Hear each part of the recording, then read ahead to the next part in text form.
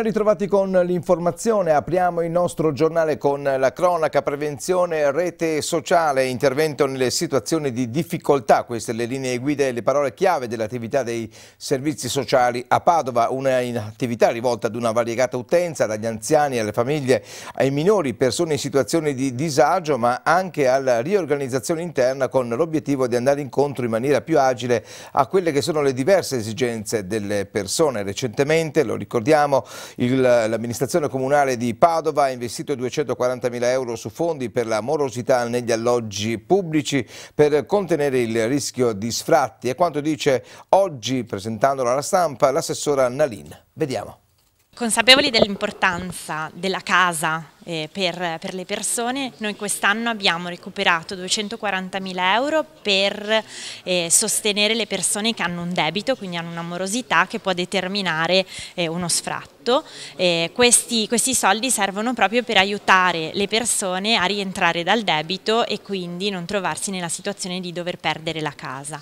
Allo stesso tempo, sempre per prevenire invece la situazione di difficoltà e quindi la situazione di, di debito, l'accumularsi di un debito, abbiamo eh, costruito una, una gara eh, per un progetto di accompagnamento all'abitare, ci saranno quindi degli operatori che affiancheranno le persone che sono più in difficoltà e che le aiuteranno a eh, stare attenti a pagare eh, entro le scadenze, a rispettare le regole, imparare a rispettare le regole della convivenza e, e, e quindi eh, li aiuteranno, è proprio un accompagnamento a eh, prendersi cura della propria casa, prendersi cura della de, della casa e per non perderla, questo è l'obiettivo principale. Eh, insieme ai eh, 28 comuni dell'ex Sul 16 noi stiamo scrivendo un piano eh, per la povertà, le risorse arrivano dallo Stato e noi eh, stiamo costruendo un progetto per utilizzarle al meglio, i temi saranno, eh, riguarderanno sicuramente il sostegno all'occupazione, riguarderanno sicuramente anche qui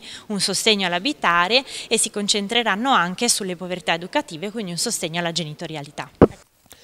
E veniamo alla cronaca, poco dopo le 12.30 di oggi i vigili del fuoco sono intervenuti in via dell'artigianato a Schio per lo scontro tra due auto che ha causato tre feriti. I pompieri accorsi dal locale di staccamento hanno messo in sicurezza i mezzi e quindi estratto una donna rimasta incastrata in una Ford Fiesta finita contro il guardrail. Ferito anche un passeggero. Il conducente dell'altra auto, una Maserati, è riuscito a venire fuori da solo dall'auto. Tutti e tre i feriti sono stati poi assistiti dal personale del SUEM 118 e trasportati all'ospedale di Sant'Orso. La polizia locale ha eseguito i rilievi per la ricostruzione della dinamica dell'incidente.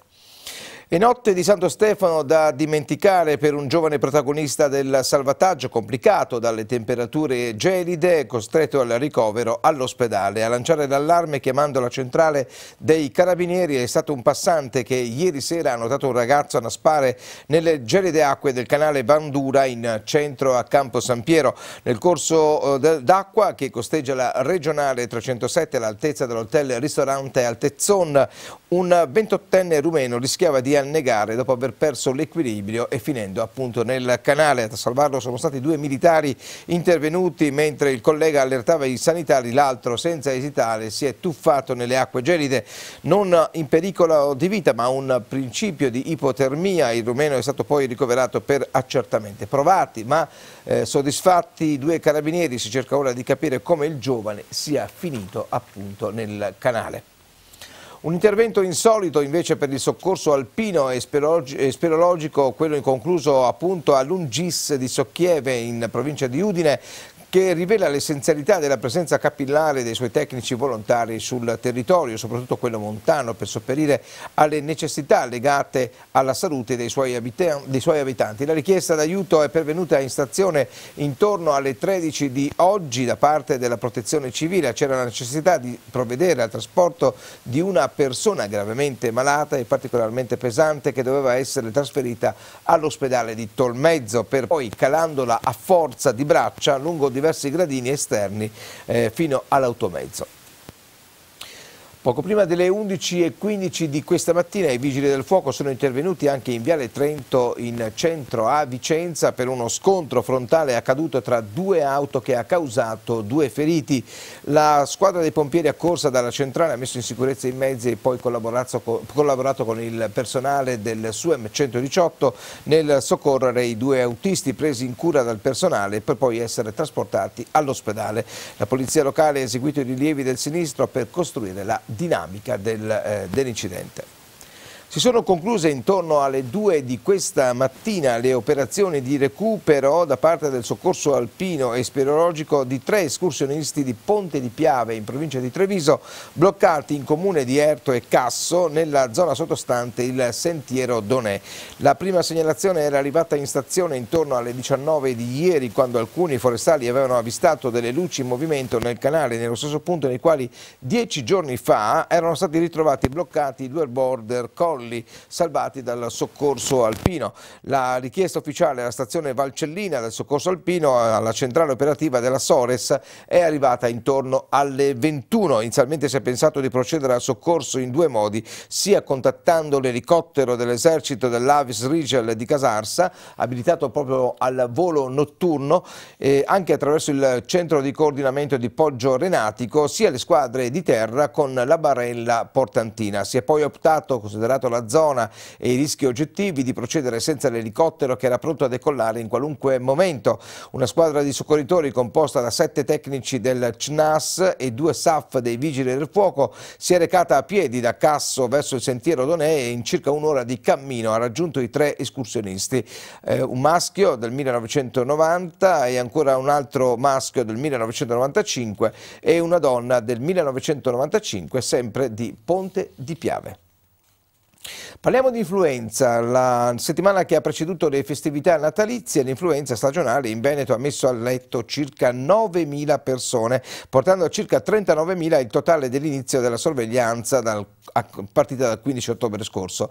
Il tasso di incidenza regionale ha raggiunto l'1,85 per mille abitanti, meno della metà del tasso nazionale, già salito invece a 3,42 per mille. L'influenza in Veneto è quindi in ritardo rispetto al resto d'Italia, il che spinge gli esperti a ipotizzare che il picco possa spostarsi in avanti magari nel mese di febbraio. Lo si evince nel secondo rapporto della Direzione Prevenzione dell'Area Sanità e Sociale della Regione Veneto che ha elaborato i dati dei 116 medici di medicina generale. Osservando i tassi di incidenza per le varie classi di età per la fascia dei bambini da 0 a 4 anni, il tasso di notifica è in continua crescita, arrivando a 1,99 bambini per ogni mille mentre ricordiamo che in Italia si è attestata all'8,70 per mille per i bambini. La classe di età centrale che attualmente in Veneto è quella di incidenza maggiore sta registrando un aumento graduale con un valore complessivo per l'ultima settimana di 2,43 casi ogni mille, a livello nazionale siamo già a 3,42. La fascia degli anziani, cioè quelli con età maggiore ai 65 anni, registra valori ancora molto bassi con un tasso di incidenza di 1,42 1,12 per mille abitanti, il livello nazionale è invece attestato a 1,92 per mille abitanti.